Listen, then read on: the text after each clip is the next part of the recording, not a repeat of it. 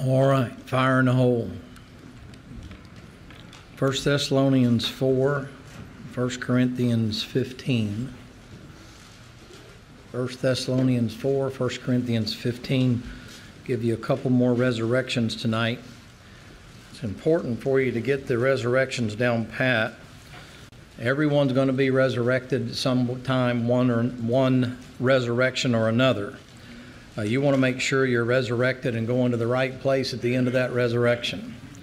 Uh, you want to make sure that if you die, you know where you're going when you die. Uh, you can't make sense out of life. Hey, boy, how you doing? Good to see you. Glad you're here. Uh, you want to make sure that you have that decision taken care of, so that way, whether the rapture happens or not, you know you're headed in the right direction death may come before the rapture. I don't know when the rapture is going to take place. I hope it happens soon.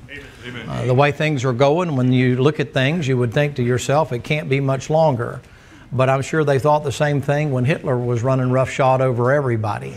Many people thought Hitler was the Antichrist. He certainly made a good type, without any question. I mean, there was not anybody at that time more anti Semitic than he was.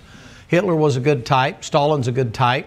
But with all of those individuals there, the things that miss about Hitler and Stalin is, is the whole world doesn't wander after them.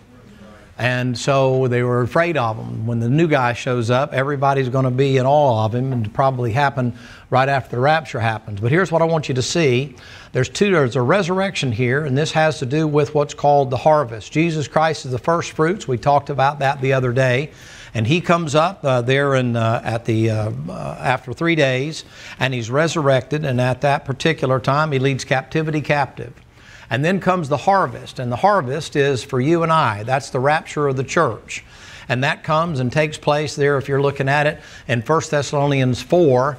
I believe it'll say something along these lines For the Lord himself shall descend from heaven with a shout, the voice of the archangel, the trump of God and the dead in Christ shall rise first, and then we which are alive and remain shall be caught up together with them, and so shall we ever be with the Lord. Wherefore, he says, comfort one another with what? All right, so you get comfort out of the fact that the Lord's going to come and get you one day, whether you're dead or not. Amen.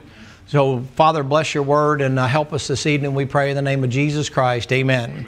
Now, a couple things. Thank you. You can be seated. Thank you for your kindness and standing. In 1 Thessalonians chapter number 4, I want you to notice it gives you some reassurance, first and foremost, of where your departed loved ones are now. Where are they right now? Well, the Bible says they're with God. Where's with God? They're up there in the third heaven. I mentioned to you, and some of you kind of looked a little befuzzled by it, but I don't make any bones about saying I don't know that they're in the New Jerusalem right now. It looks more like they're up there in the third heaven with God, and it's probably a place very similar to the Garden of Eden or what's called paradise by the Apostle Paul. Paul says in 2 Corinthians chapter number 12, a new man in the body, out of the body cannot tell who was called up to the third heaven, whether in the body, out of the body, I cannot tell. And paradise was there. That means the paradise used to be in the heart of the earth. He told the thief on the cross, Today thou shalt be with me in paradise. And that day he showed up there. So he took the whole compartment out and led captivity captive, Ephesians chapter number 4. Now, when we talked about that, uh, especially for you newer folks, you got the idea because many people teach, first of all, the Lord was crucified on Friday. He wasn't, He was crucified on Wednesday stayed three full 24 hour days, and then came up Saturday night at 6 o'clock and wandered around there until they saw him there in the garden there when Mary saw him over there. And he said, Touch me, not yet, I have not yet ascended to the Father. Now, I'll give you a whole study on that at another time, but here's what you need to know.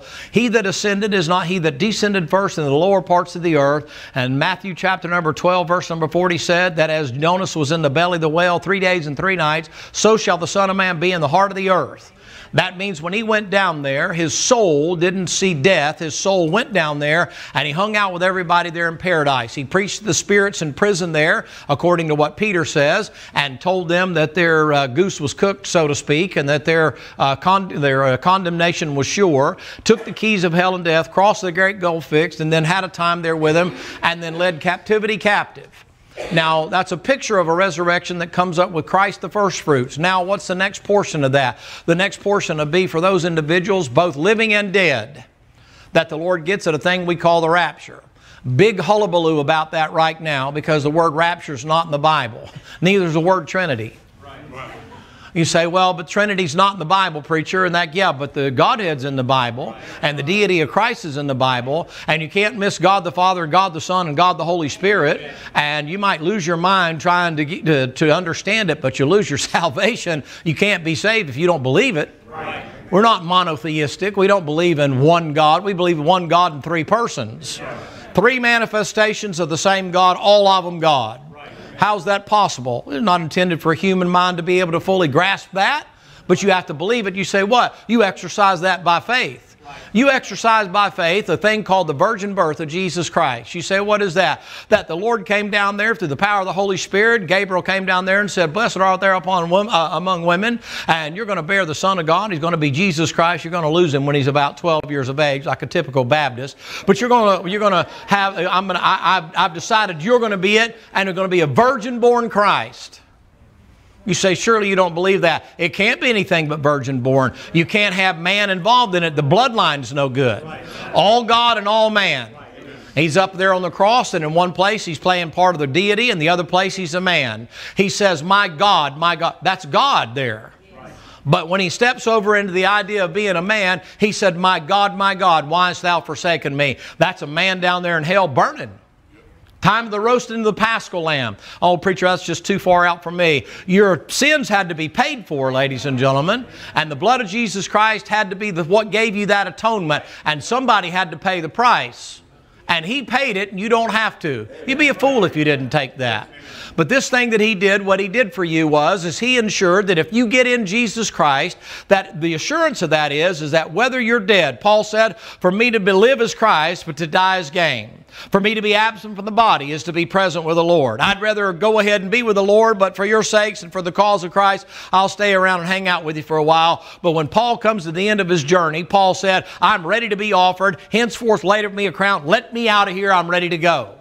Now, the struggle you'll have as a Christian is, is that when you get close to the Lord, you'll have this pull, this intensity, this feeling, I want to get out of here. I don't want to be here anymore. I don't fit in here anymore. I'm not comfortable anymore. Everything just kind of agitates you and irritates you. It's just this carnal slop jar all the time, and you just feel like, you know what? This world has no luster for me whatsoever. If the Lord gives me a choice, let me go ahead and go now.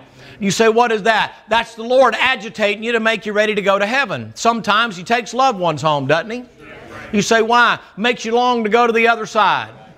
Sometimes trouble comes your way, doesn't it? Sometimes disease come your way, doesn't it? Sometimes financial problems come your way. Sometimes your heart gets broken because of some boyfriend or some girlfriend or because of some tragedy in your own relationship and things like that transpire. You say, what does it make you do? It makes you worn out with the world. Tired of it. I've had enough. You say, what does the Lord do that? He does that to knock the shine off the things in the world, to take off that, what I'll call fool's gold. It helps you to keep things focused. You might be successful, you might be prosperous, you might uh, do well, you might live a comfortable life, but it should never outshine going home to heaven. No matter how comfortable you might be and how well you might be doing, it should never outshine. Well, you know? If the Lord lets me go, I just soon go now. I'm ready to go now. You say, well, what are you doing? I'm not going to have you drink the Kool-Aid or run around and shoot you in the back of the head like um, Guyana, they did in Guyana there with Jim Jones and, and that kind of thing. I don't believe in that foolishness. But I do believe that a Christian should be ready to depart at any time. I believe if the Lord were to call you home tonight, you ought to say, Well, praise the Lord, it's time for me to go. No point in me staying around. If He's ready to punch my ticket, let Him punch my ticket. You say, Well, preacher, don't you fear death? No, I don't fear death. I feel how you can fear how you can die. I don't fear death. I fear how you can die. I've seen people die a lot of ways, and some of them are real painful. And I'm, I'm just telling you. Now, you see, you, y'all, y'all are like, oh, don't bother me, man. I, not me. I've seen some of them, man, suffer going through that the last moment. I don't, I don't want to go like that. I, I'll tell you how I'd like to go. I'd like to go right now. Amen. I mean, I don't want to feel an elephant sitting on my chest and me up here and y'all running up here trying to take care of me and somebody kissing me in the mouth other than my wife trying to blow and go back there and get the paddles and you don't know exactly where to put them and put them one on my feet and one on my head and, you know, make me jump, do the chicken and all. That don't, that don't interest me. I'd like the Lord to just drop me like a sack of taters. Yeah. Now you say, why? Because I'm chicken, man. I mean, they talk about, you know, getting the, the martyrs. I read every now and then, I'll read a few paragraphs, a few pages about all I can take anymore. I've read through the whole Fox's Book of Martyrs and the whole Martyr's Mirror. That's a book about the size of an encyclopedia.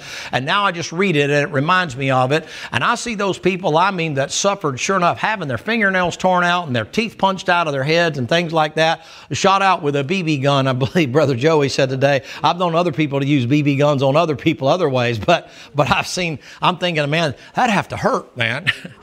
but I've seen that kind of stuff. You know what I think to myself? I don't want to go like that. But you know what I do know? I know that somewhere in there, God's grace must step in, and I see those individuals grabbing hold and latching hold of that pole and kissing and embracing that pole. I've seen them holding on to those chains and say, Lash me down tightly, for I feel my flesh may struggle in this great day of me being released. Yeah, I bet it does jump around, man. They light those fires underneath you and burn you. They throw your kids in burning oil and do that kind of stuff, disembowel you while you're up there and have the pigs eating your insides until they eat you alive and stuff. There's all kind of ways to go. I don't want to go like that. But I do know this. I know if the Bible's right because I'm in Him, I know in whom I am believed, and am persuaded that He is able to keep me against that day. That this principle I'm going to show you is a guaranteed resurrection. And you put me down, you don't have to worry about leaving the coffin loose or, you know, leaving the dirt loose or anything like that. I'm going to come just like the Lord came right out there, didn't need to roll the rock away, just like He walked through the door. I'm going to come up out of the ground. Amen. I don't know that the dirt's going to get thrown around. I don't know that that's going to transpire. I couldn't tell you. The Bible says in Matthew 27 52, where we were in Ephesians 4 the other day, the bodies of many of the saints which slept arose and went into the holy city. But there's no historical account of there being a bunch of empty graves. Right. So it looks like they may have passed through those uh, graves, may have passed through those caskets, may have come out of those catacombs. I don't know how that might be. But I gave you that verse there in 1 Thessalonians 4 to first of all give you the assurance that if you're saved, when you die, you're absent from the body and present with the Lord. Amen. You don't have to worry about whether or not you're in the city of gold, in the streets of gold, and the gates of pearl. You get that later on. That's back in, out in Revelation. We'll get to that in just a minute, the great white throne. What you need to know is, is that if your loved ones have gone on ahead of you, they're on the other side, on the hillsides of glory right now. You say, what are they doing? Having the time of their life. You say, are they ready for judgment? They're not thinking about judgment right now. Judgment seat hadn't taken place. They're not up there forlorn and rubbing and nervous and all that kind of stuff. They're at complete peace. They're not sleeping. Why would the Lord waste time with the saints to put you to bed with a shovel and have you sleep in a hole in the ground? What would be the benefit of that? He'd take you up there and show you the time of your life. Listen, if you happen to get cut out of here before the rapture takes place and before we see the New Jerusalem uh, clothed as a bride coming down from, our, uh, from, uh, from God out of heaven, if He takes you out of here before that, trust me, what He's got waiting for you out there is better than what you got now. You don't know what tomorrow's going to bring you. You have no idea what tomorrow's going to bring you. You can't, you can't prophesy and say, well, tomorrow, you know what you better say? You better say, if the Lord wills. You better say, if the Lord wills. I, I might get up tomorrow morning if the Lord wills.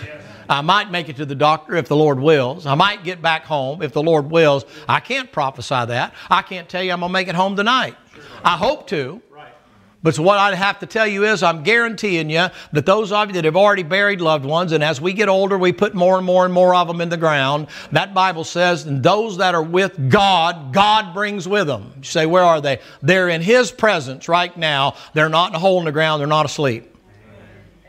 They're awake. And the Lord says, Y'all, come on, we're going down here. What are we going to do? So I'm going to go down there and pick up that body. Lord, I don't want that rag back. You going to give me that body back? Thanks for playing the horn tonight. I appreciate it. I about tagged you this morning, but I was afraid you might take the leap of faith from up there. But okay, all right, well, good. We could have got you a kazoo.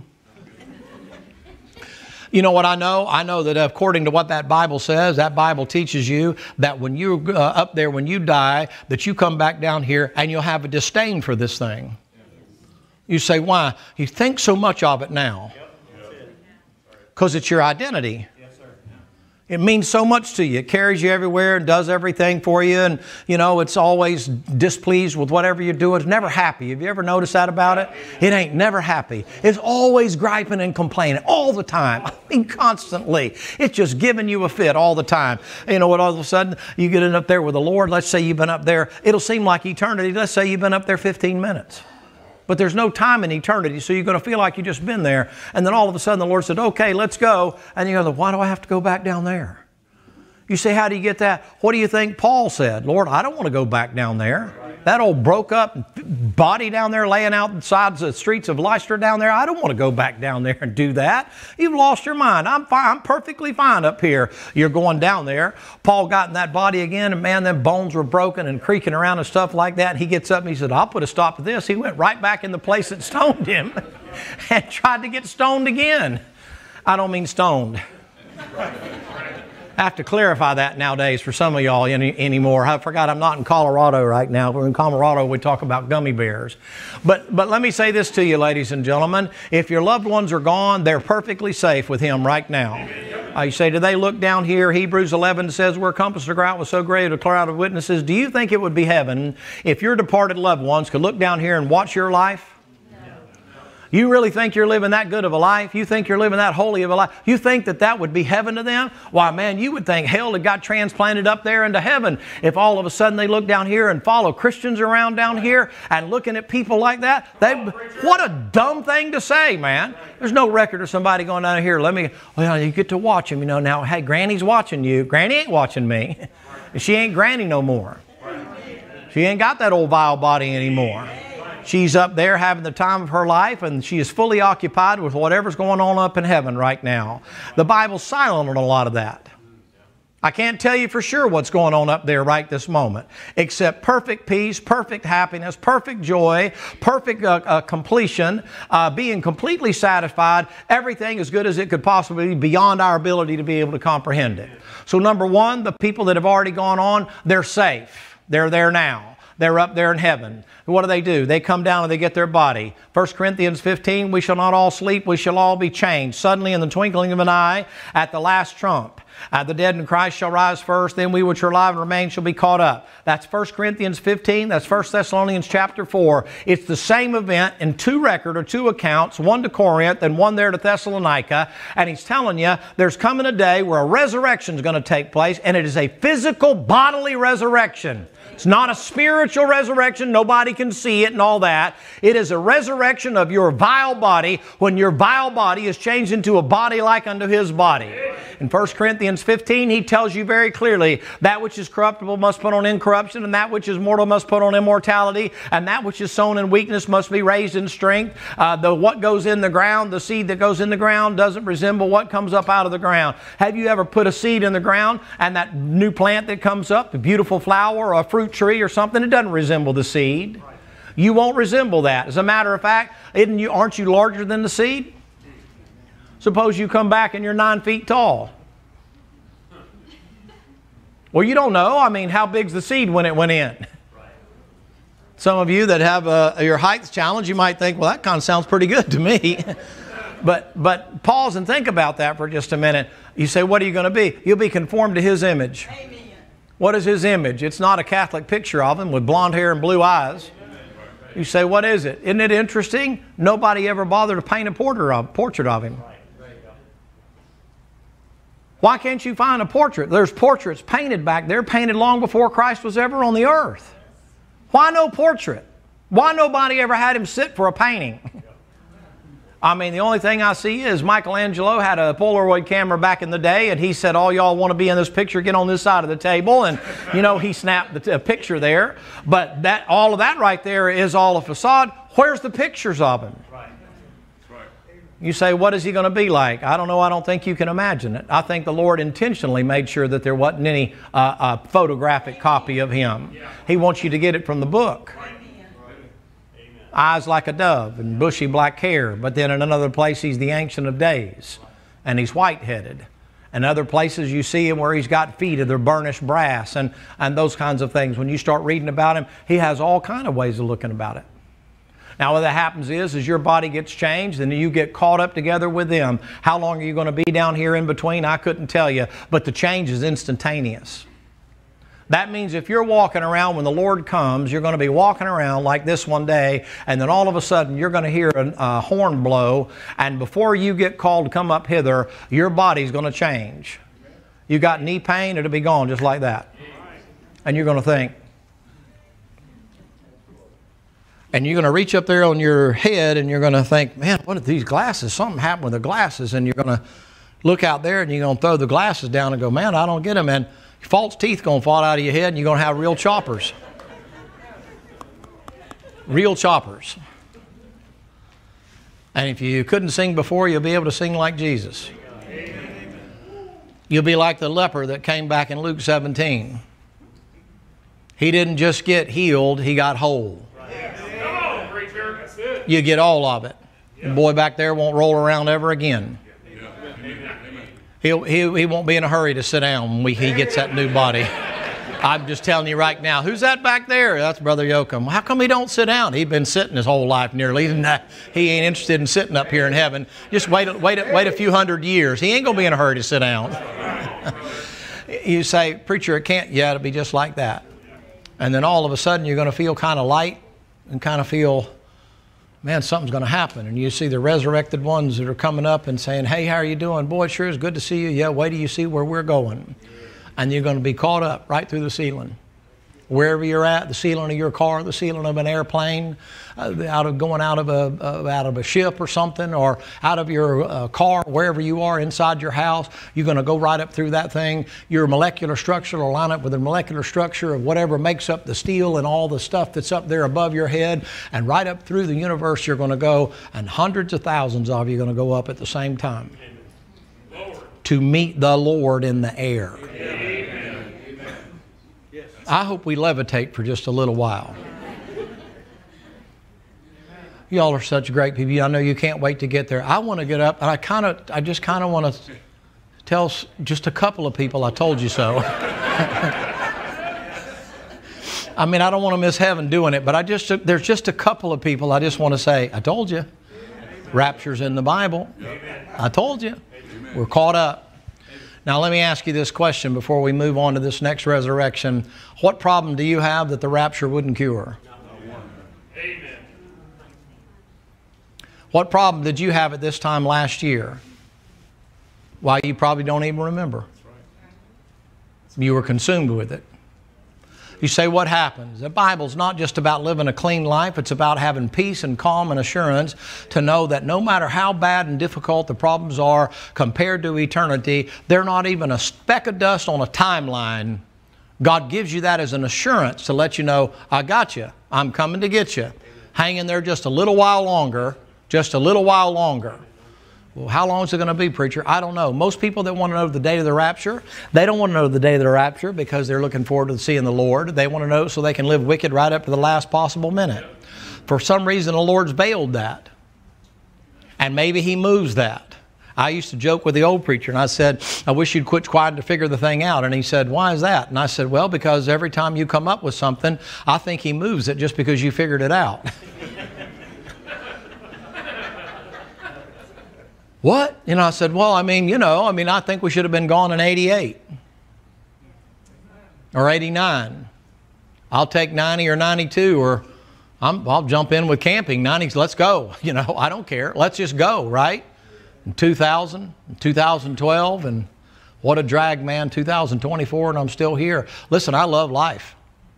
I enjoy it. I love doing what I do. I love being able to be here. I love appreciate the uh, y'all allowing me to be your pastor. I, I really do love life. But you give me the choice of getting out of here. I'm telling you right now, I love my wife. I ain't going home to get her. Right. I'll meet her in the air. Amen. I, I told her, I said, hey, baby, I love you. If I don't make it back tonight, she said, you better not pray for the rapture. I said, if, I, if he asks me, I'm going to pray. And I said, whatever we got to face next week or whatever we got going on, it'll be fixed in a moment twinkle. She goes, well, yeah, there's that. And I said, I'll meet you on the way up. Yes. You are going in the right direction, aren't you?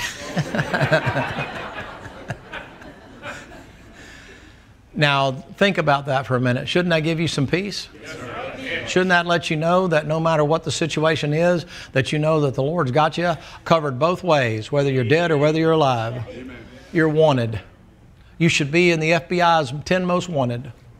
You say, You're wanted dead or alive. God cares about you if you die, and God keeps you if you're alive. That should give you great peace. Should let you know, okay, well, guess what? I got it. All right, come to Revelation now. I want to show you something here about the great white throne. Now, let me make sure you understand when you go to the judgment seat of Christ, ladies and gentlemen, the judgment seat of Christ is not for uh, unbelievers. The judgment seat of Christ is for Christians, saved people. If you're taking notes here tonight, and you don't have time to get into all of that stuff, but when you're resurrected there at the rapture, when that takes place, you go up there and the judgment seat of Christ happens. And the judgment seat of Christ is in 2 Corinthians chapter number 5. Uh, where he says that every man will be judged for the work done in the body, whether it be good or whether it be bad. Uh, and he says every man will give an account for that work that's done there and you'll acknowledge what you did. And then he said, Knowing therefore the terror of the Lord, we persuade men. In, in uh, 1 Corinthians chapter number 3, he said that you go to the judgment seat of Christ to be tried for the things in the fire, and it'd be gold, silver, precious stones if you did right, and wood, hay, and stubble if you didn't. And then there's five crowns that you get at the judgment seat of Christ that can be uh, earned by you during that time period. That's for individuals that are saved by the blood of Jesus Christ in a period called the church age. No one else goes to the judgment seat of Christ. Amen. Now, if you don't get anything else I said, don't get these two things confused. The great white throne judgment is not your judgment. If you're here tonight and you're lost, then you're going to hell. And then after you come up out of hell, you get to come up at this judgment and you get to match your righteousness with none other than Jesus Christ. And if your righteousness can top His, you can get in. And if you can't, then you're going to go to hell, I mean, go to the lake of fire, and you're going to burn until God dies. You say, You really believe that? Yeah, it's called the doctrine of hell and the lake of fire, and I believe that 100%. You say, Why? Why else get saved? Why did you get saved, preacher? I was seven years of age. I got saved because I didn't want to go to hell. That's why. Amen. Well, you know, you should have had a different motive than that. What, what more do I need as a motive as a seven year old boy other than I don't want to burn and pay for my own sins?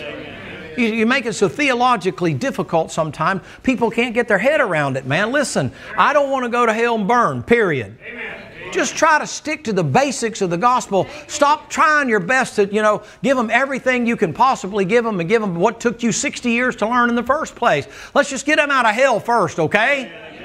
And then once you get them out of there, you've got assurance, you got plenty of time to talk with them. By the way, a lot of times you spend time wasting time talking to people that aren't even saved yet. You say, why? The natural man receiveth not the things of the Spirit, uh, neither can he know them, for they're spiritually discerned. That's 1 Corinthians chapter 2.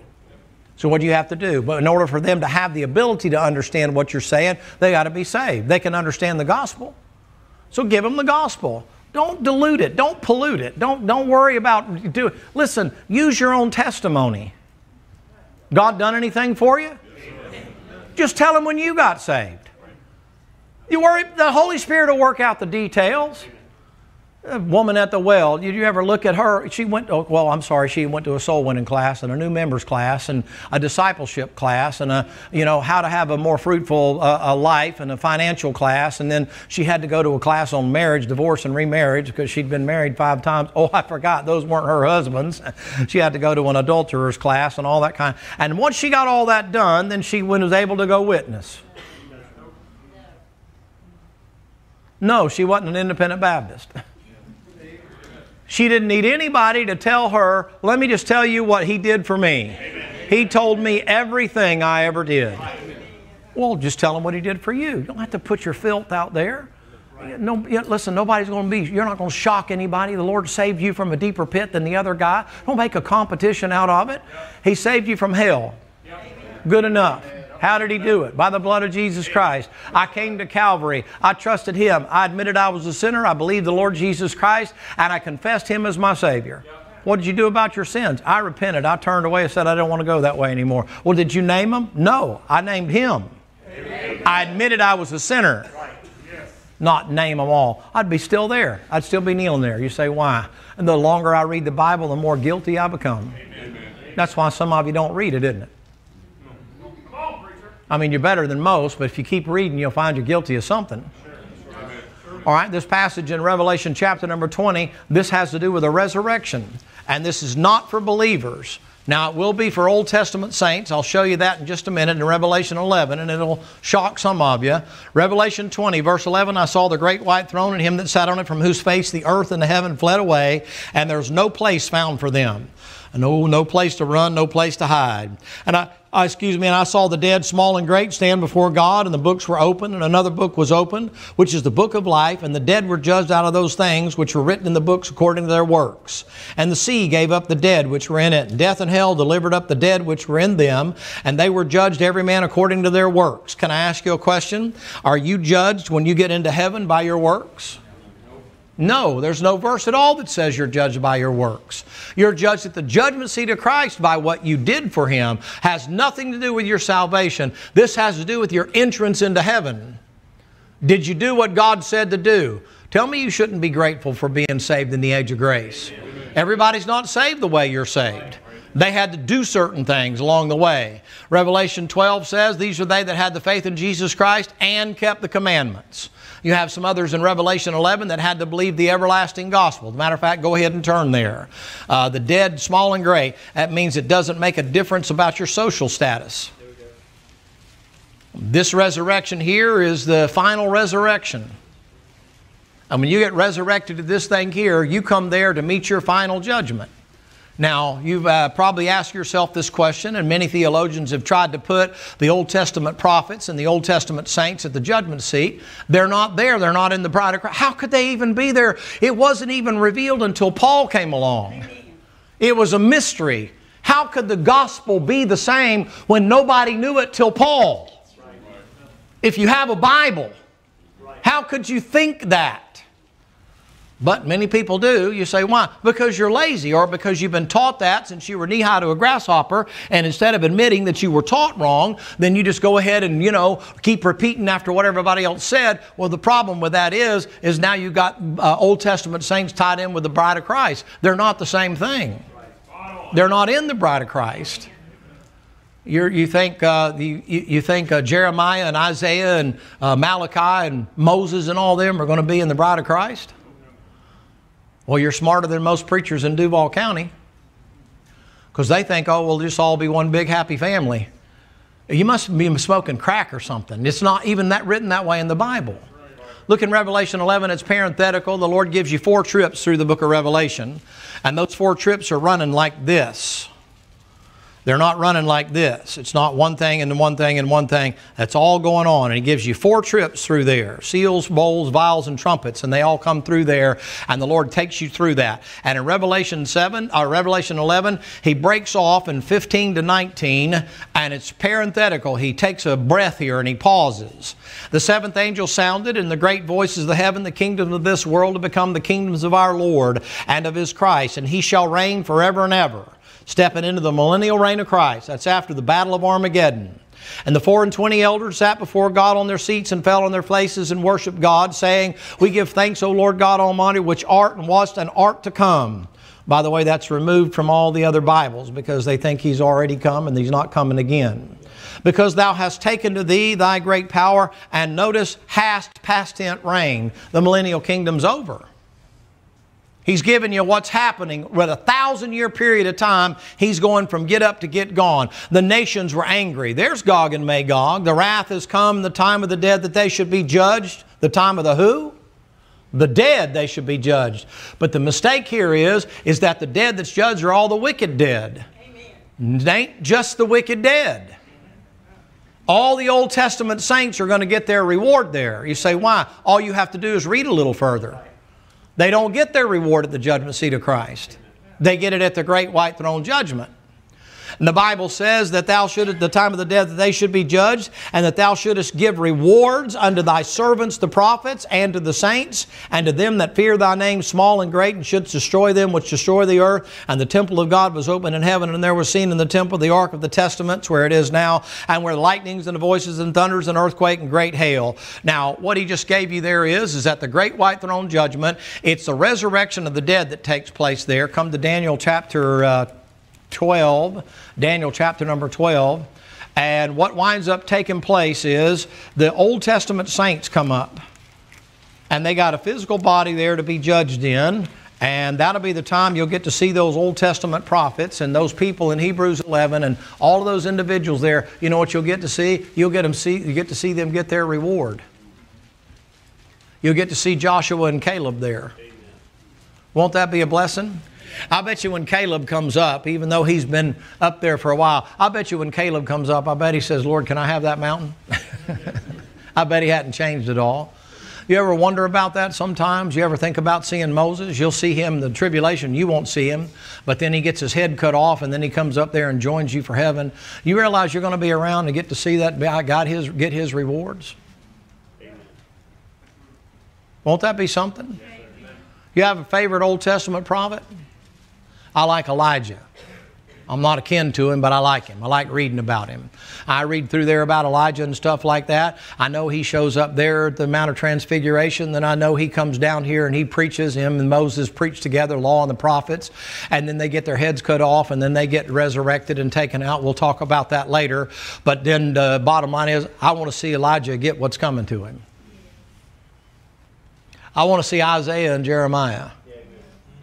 Now, this is after you've seen the Lord. And now, you know what? I think there's nothing better than seeing a faithful old, faithful old saint get what God wants to give them and to see the pleasure on God's face and rewarding faithful saints. Can you imagine, man, what it'll be like? I don't think uh, Moses will come up there. I don't think he'll look like Charlton Heston, you know. Let my people go. You know, I don't, I don't think it'll be that way. Uh, Pharaoh will show up. He won't be Yul Brynner. got to get that out of your mind. But can you imagine that you'll have on one side, you'll have Pharaoh there? On the other side, you'll have Moses there. And one of them's getting their reward in the lake of fire, and the devil grabs him up and pitches him off into the, or the angel does, and pitches him off into the lake of fire.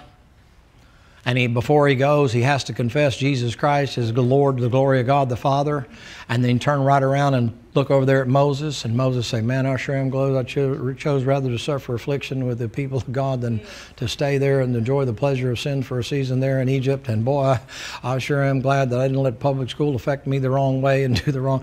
Man, good night. I'm glad I made the right choice to suffer. And you know what you'll get to see? You'll get to see the two choices now, I don't know about you. I can tell you already what I'm going to be thinking. I know the Lord may change my mind when I get all that, but I'll tell you what I'm going to be thinking.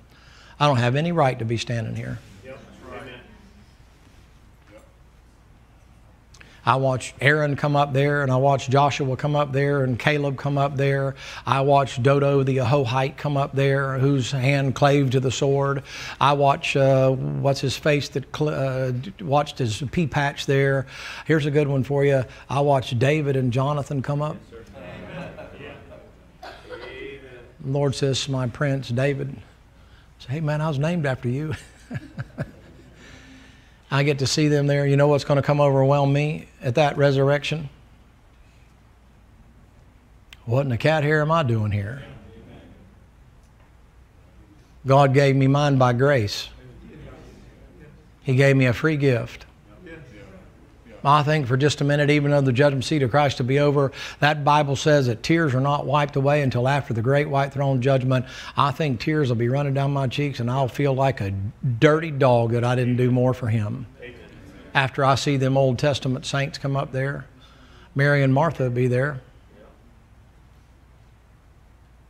Apostles will be there. You ever think of that? Does your mind ever go there at all? What that day will be like?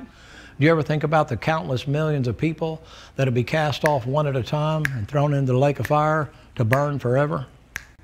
And some of them lived a better life than we did. That's the judgment right there. That's a resurrection of the dead. Small and great stand before God. Presidents, kings, potentates, billionaires, trillionaires, world rulers, world renowned Alexander the Great. He conquered the then known world, was the greatest man at 33 years of age, died a drunk, but conquered before he was 33, conquered the then known world. He's going to come up right there and give an account. And the Lord will have his prophets that are there getting their reward too. Look at Daniel chapter number 12. Look in verse number 2. And many of them that sleep in the dust of the earth shall awake some to everlasting life, and some to change and everlasting contempt. That rapture that'll take place there. You wind up going up and at that last thing in the gleanings, those individuals get caught up out of the tribulation period, and after the tribulation period is over with, the ones that are left down here, they die in the battle of Armageddon, or they die out there in the millennial kingdom, and then they wait until the end of that time period, and they get hauled up there at the great white throne after heaven and earth has passed away, and the Lord's got the judgment of everything there going on, and down at the bottom of that thing is a gigantic lake of fire, and angels just standing and they're pitching off people like cordwood. And Hitler will come up there and he'll be looking at the greatest Jew that ever lived. Amen. And you say, hey, How do you feel now? Are you anti Semitic now, Hitler? You know, if that Bible's right, you know what Hitler will do? He'll curse and he'll swear and he'll bite his teeth and he'll grit his teeth and he'll have to confess, just like the devil will at the end of that thing, and he'll have to confess that the Jew is the one that's greater than he is, and that'll be the last thought he has before he'll be cast in a lake of fire. Mussolini right behind him, Stalin right behind him, Nietzsche right behind him, Marilyn Monroe right behind him. Say, not Marilyn Monroe. You don't know the history on Marilyn Monroe. I bet you you don't know the history of Marilyn Monroe. Anton LaVey said she would be the Madonna of the Satanic Church. They don't show you that. They show you that she was raised and she was abused and she was in foster homes and she was in orphanages and, and she was dumb and she was stupid and innocent. Did you know Billy Graham went over to talk to her one day? You know what she told Billy Graham about salvation? I don't need your Jesus.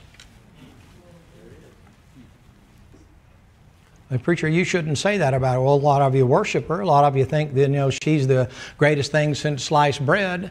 You don't realize she was into doing all kind of occultic behaviors. Read, just read. I'm not making it up. You probably Google it and probably get it off of that, I guess, but you might be surprised what you might find out and those individuals that are connected with that stuff and you say well what a tragedy well what a tragedy. I'll tell you the tragedy. The tragedy is is whether or not she's with jack or john it doesn't make any difference and passed her around like a dish towel and those kind of things. And when they got done with her they kicked her to the curb and after she sang happy birthday and all that other kind of stuff and then she winds up and does what? She dies and goes to hell. That's the tragedy of that life the tragedy of life isn't that she's married to Smoking Joe DiMaggio, that was the professional ball player and all that other kind of stuff, and she was a great movie star. And no, the tragedy in that story is not that she wound up dying from drug overdoses, or they hot shotted her, or the CIA got in there, or the mob got her, or whatever you want to believe about her. When she died, she's in hell right now. She's burning right now. She's screaming right now. You say, what's going to happen? If the rapture were to happen right now, you'd get out of here, and after the tribulation period is over, we'll come down for the Battle of Armageddon. It'll start the thousand year clock. That thousand year clock will run. The Battle of Armageddon, I mean, the Battle of uh, Gog and Magog will take place. And after the Battle of Gog and Magog takes place, heaven and earth passes away, and there's no more sea, and nothing's going on but a throne there, and everybody being judged. And here comes Marilyn. See, why do you do that? An innocent young girl taken advantage of. But the worst thing they did is she rejected Jesus Christ. She doesn't get any quarter. I could see Hitler going, can't you? I can see Mussolini going, can't you? I can see Stalin going and Nietzsche going. I can see that. I can see Mao Zedong going. I can see, uh, what's his name in uh, Vietnam, uh, Ho Chi Minh. I can see him going. All those people in the killing fields and the horrendous things they did to people. I don't have any problem at all with that. I like to say, oh, well, what a tragedy. I don't know. It doesn't really upset me too bad. When I see somebody innocent like that that's been taken advantage of and warped and used her entire life and then wind up rejecting Jesus Christ, I think to myself, man, what a tragedy. And I'm going to see her one day. She's not going to be glamorous and look like she did when she was out there in the movie as a movie star. You know what she's going to do? She's going to come up there as a wicked, God-forsaken sinner that's been roasted in hell for at least a thousand or twelve hundred years, and then by the end of that time, come up there and confess Jesus Christ. And the Lord's going to say, "Hey, Billy, come here a minute." In old North Carolina, Billy Graham with that old Southern drawl will walk up there and say, "Yes, sir, Lord." What is it? He said, Did you witness to this young girl? Yes, sir, Lord. I went to her house there and talked with her. What did she say, Billy? Tell us all. And the whole congregation will be there. Billy said, Man, I haven't seen a congregation like this in the stadium or when I was in Russia or China or nothing like that. He said, This is every human being from Adam all the way through, and we'll get to the angels in a little while. He said, Tell us, Billy, what did she say? Uh, Lord, she said she didn't need you. And he's going to look down there and say, Young lady, is that true? And she's going to say, Yes, sir. Can you have mercy on me? No, sir. The day of judgment is upon us. Depart from me, you cursed, into everlasting fire prepared for the devil and his angels. Out!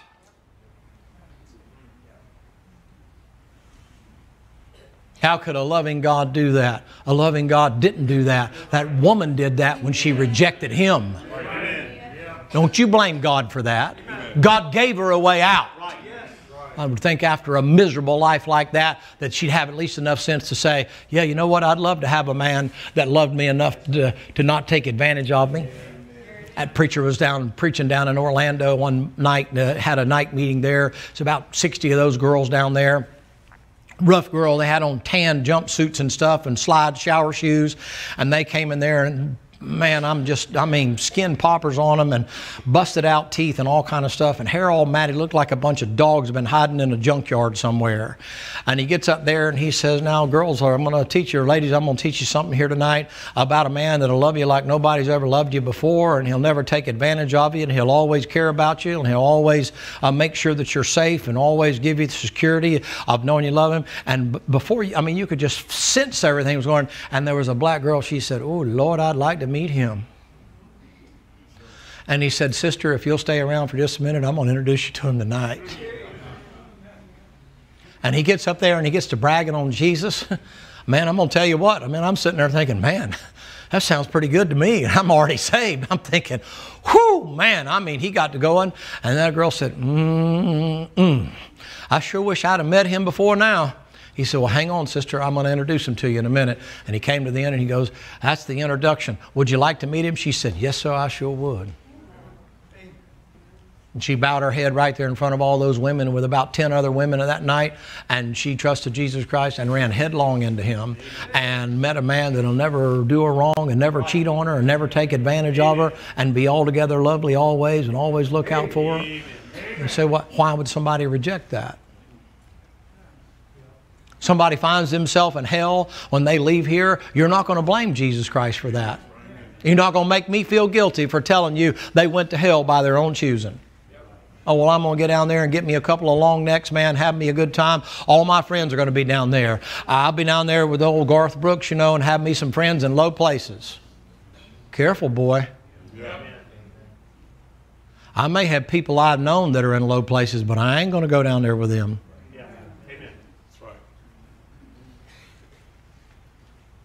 You're a little too loose with that. Like, hey, it's going to be that way. No, it ain't going to be complete isolation. You to have friends down there.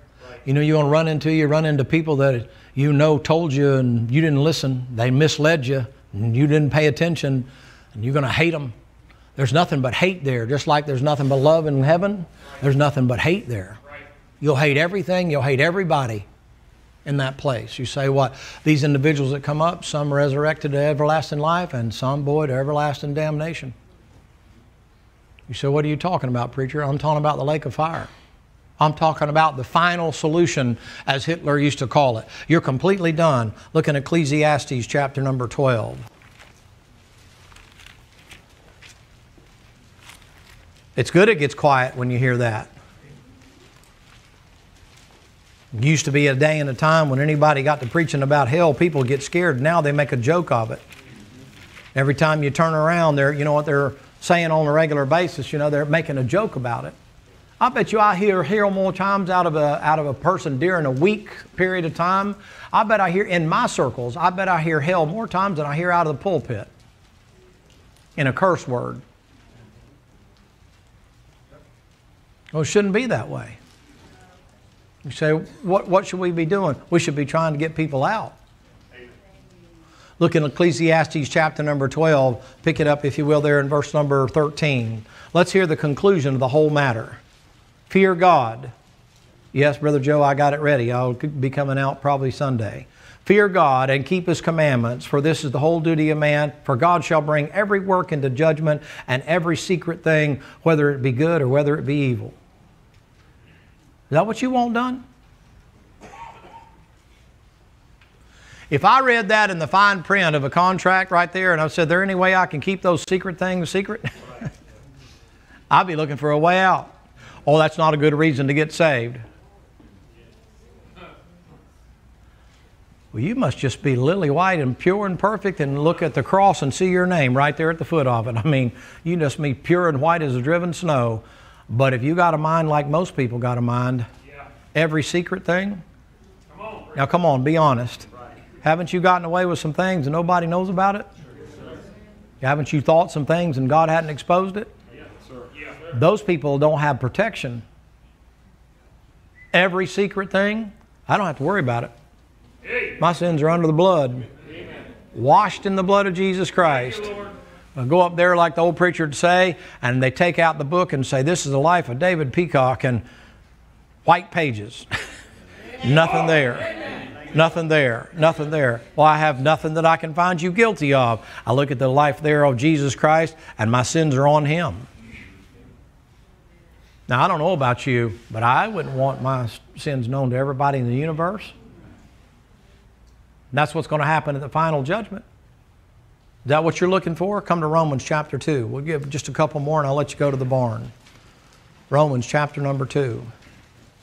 Before I forget, y'all gave us so much food and stuff, you obviously know I can't cook or don't cook. And between that and all the cards you gave me and everything, or gave us, I'll, I'll, you have to buy me a treadmill or something. uh, but I really do appreciate it very much because um, uh, it, it's just very much appreciated. Now, let me give you this thing in Romans chapter number 2. Come down to verse number oh, 5. Uh, 4. Or despisest thou the riches of his goodness and forbearance and long suffering, not knowing that the goodness of God leadeth thee to repentance? But after thy hardness and impenitent, hardness and impenitent heart, treasured up unto thyself wrath against the day of wrath and revelation of the righteous judgment of God, who will render every man according to his is that what you want to be? I don't get to heaven by my deeds. Come to Luke uh, 14. Matthew, Mark, Luke 14. I get to go on the behalf of somebody else. I don't think there's a greater story. You know what's sad, I think, to me nowadays? I think what's really sad is, is that people are real, it, it's hard, we're so proud, especially in America, that we can't accept a charitable gift from individuals. And then when you present a gospel and tell somebody it's a free gift, it's like they want to work for it or something or earn it. They just can't bring themselves to accept the goodness of God and just say, You mean God will be that good to me to forgive me and let me go to heaven on His merit?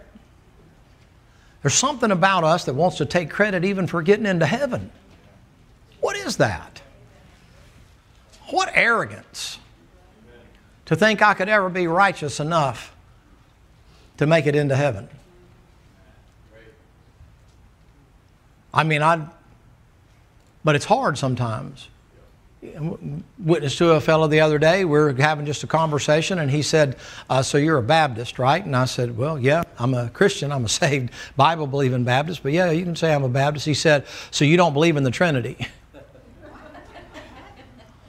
I said, What? And he goes, Baptists don't believe in the Trinity. And I said, uh, not Baptist I know. I don't even know what you're talking about. I said, You're talking about Father, Son, Holy Ghost, right? And he goes, Well, yes, sir. And he said, But y'all don't believe that. And I said, well, yeah, I do. I believe more than that. I believe that's God manifested in the flesh. And I went through all the stuff I told you a while ago. He goes, Oh, he goes, Well, now listen, think about this now. This is the second question. I'm talking to him about his soul. Here's the second question Well, how do you feel about tongues?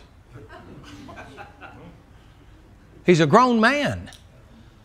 And I said, How do I feel about tongues? I said, Well, first of all, I asked the Lord to give me a bridle for the one I got. He goes, Oh, well, that's pretty funny. you know? He said, But how do you feel? I said, You mean the initial evidence of the baptism of the Holy Ghost? And he goes, Yeah.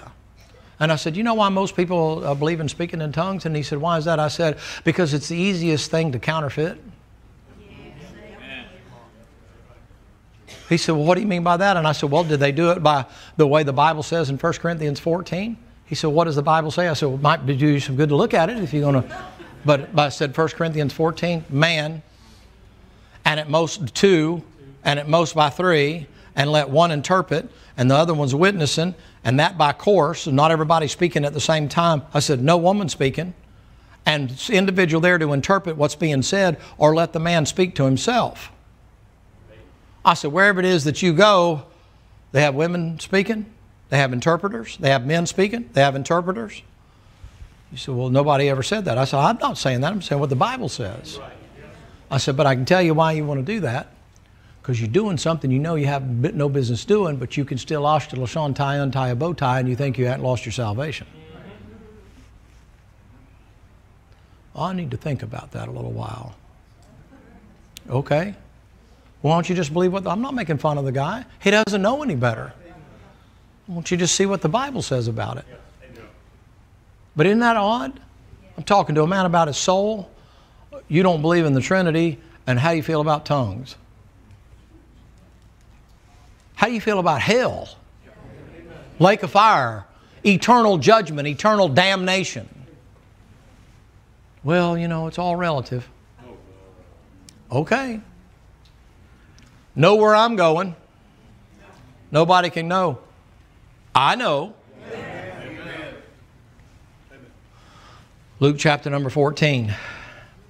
I won't give you this whole thing. Pick it up. Let's just make it in 16. And um,